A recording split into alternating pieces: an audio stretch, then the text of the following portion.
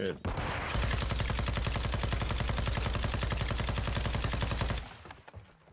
Porsche.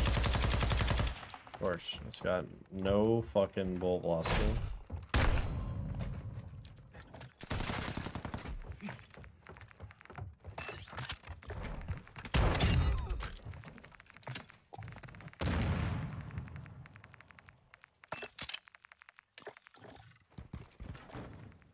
Enemy counter UAV is active.